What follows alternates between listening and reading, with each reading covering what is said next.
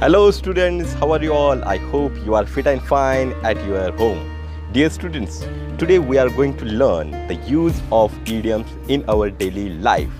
Students, so without wasting time, let's try to learn use of idioms in our daily life. Today's first idiom is break the leg. Yes student, first of all let's have the meaning of this idiom that is break the leg.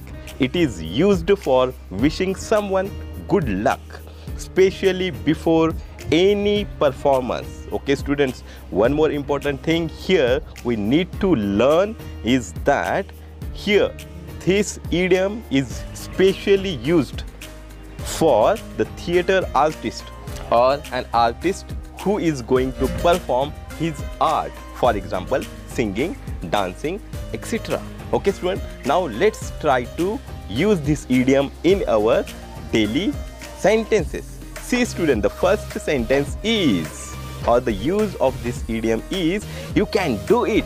Break the leg.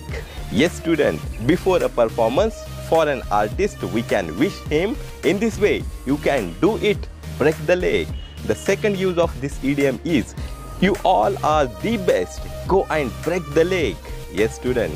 Now one more use of this idiom is just try it and break the leg in this way we can use this idiom in our daily communication. Okay students? Student in this way we are going to learn idioms in this series. That is let's use idioms in our daily communication students if you want to learn more and more such idioms and the use of idioms then do not forget to subscribe and press the bell icon so that you will get current notification of each and every uploaded video.